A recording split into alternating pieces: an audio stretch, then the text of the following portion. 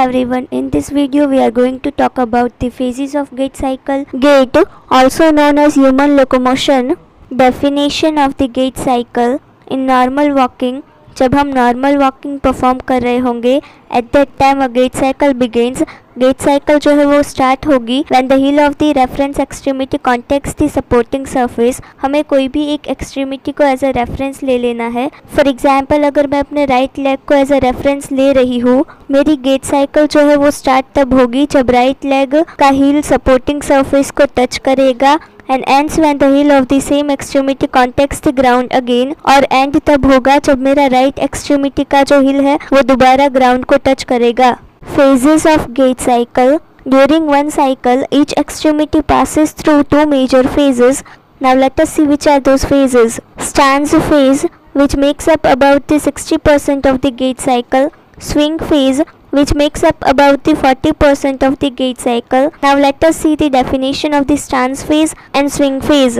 Stance phase when some part of the foot is in contact with the floor हमारे पूरे gate cycle में जितनी बार हमारा foot floor के कांटेक्ट में रहता है, उसको स्टांस फ़ेज़ कहते हैं 60 percent of the gait cycle में हमारा जो फुट है वो फ्लोर के कांटेक्ट में रहता है। Swing phase when the foot is not in the contact with the floor हमारे पूरे गेट साइकिल में जितनी बार हमारा जो फुट है वो फ्लोर के कांटेक्ट में नहीं रहता, उसको स्विंग फेस कहते हैं। गेट साइकिल में 40 परसेंट ऑफ़ द टाइम हमारा फुट जो है वो ग्राउंड के कांटेक्ट में नहीं रहता। Double supporting time it refers to the two interval in a gait cycle in which body weight is transferred from one foot to the another and both the right and leg feet are in contact with the ground at the same time. Double supporting time उसको बोलते हैं जब हमारा body का जो wait है वो एक लेग में से दूसरे लेग में ट्रांसफ़र हो रहा हो और दोनों लेग जो है वो एक ही साथ ग्राउंड के कांटेक्ट में हो stance phase first one is heel strike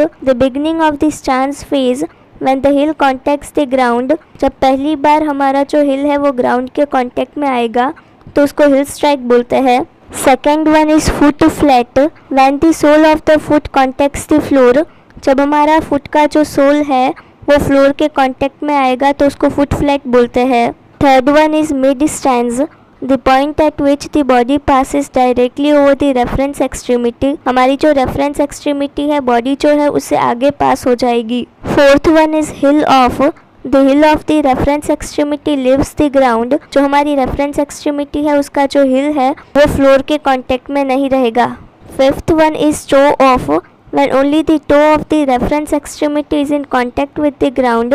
यहाँ पे कांटेक्ट विद द ग्राउंड ऐसा इसलिए लिखा है क्योंकि जब टो पूरी तरीके से ग्राउंड को लीव कर देगा तो स्विंग फ़ेज़ स्टार्ट हो जाएगा now let us try to understand with the help of this picture heel strike when hill comes in the contact with the ground foot flat when sole of the foot is in contact with the ground mid stands when body passes over the reference extremity heel off when heel of the reference extremity is off the ground, toe off when toe of the reference extremity is off the ground. Swing phase First one is acceleration. The portion of the beginning swing from the movement of the toe of the reference extremity leaves the ground to the point when the reference extremity is directly under the body. Stance phase का जो last portion था जिसमें toast जो है वो floor के contact में नहीं रहता। इसमें भी टोस जो है वो फ्लोर के कांटेक्ट में नहीं होगा। जो रेफरेंस एक्सट्रीमिटी है वो डायरेक्टली बॉडी के अंदर लाई करेगी और